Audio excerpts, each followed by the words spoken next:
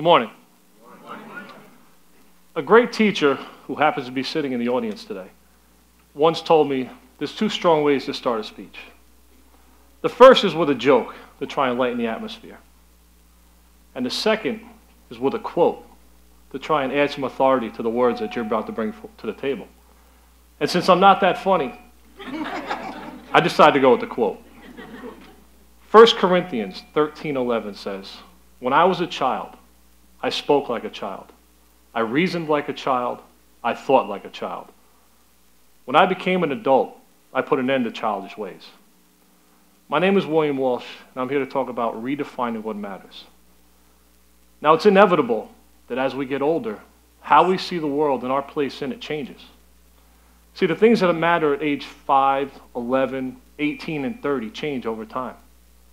At the age of 5, life is cartoons, T ball, and ice cream. But by the time you hit 30, that five year old might be what matters. Redefining what matters is most often the result of personal experience, culture, relationships, and everything else that happens. In the end, it is time and circumstances coming together to form the perspective through which we view the world. Now, when I was younger, education was not a priority, at least not as high a priority as it should have been. And that's because my priorities were actually imbalanced. Academics weren't nearly as challenging as navigating the social landscape. So I put just enough effort to get decent grades to keep my parents off my back. But the lens through which I see the world today has placed a much higher value on education. In the end, how we respond to the world, education has a big part to do with that. However, when we move forward, we have to remember we came from somewhere. And education helps us understand that. So I was looking for something that was going to help me understand both where I came from and where I was going. You see, that same lens through which I see the world today has been heavily influenced by the transformative power of education, both in myself and those around me. I was surrounded by men who went to school not because they had to, but rather because they recognized the opportunity that it afforded them beyond these circumstances. And in order to get to where I wanted to be, I first had to understand who I was and who I wanted to become. Now, somewhere on my journey of self discovery, I heard another quote, and this one had a profound effect on me. I apologize to the author because I don't know who they were.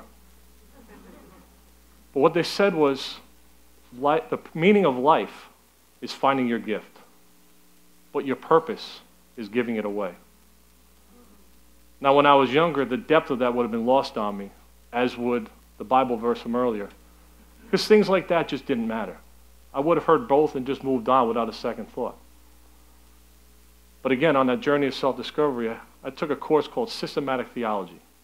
Easily the most difficult class I've ever taken, supported by the most difficult text I've ever read. But in the end, systematic theology teaches us that in order to know what you believe in, you must first know what you don't believe in. And redefining what matters works in much the same way. You first have to redefine what no longer matters. And that's part of the challenge we all face. Because we all have pieces of our lives that aren't helping us get to where we want to be. Some of us don't even know where that is, much less how to get there. But the one thing that we can all do is redefine the important pieces, get rid of the unimportant, and find that passion that brings purpose to our lives. And that is the goal of our speakers today. They have all found a way to redefine what matters to them. Thank you.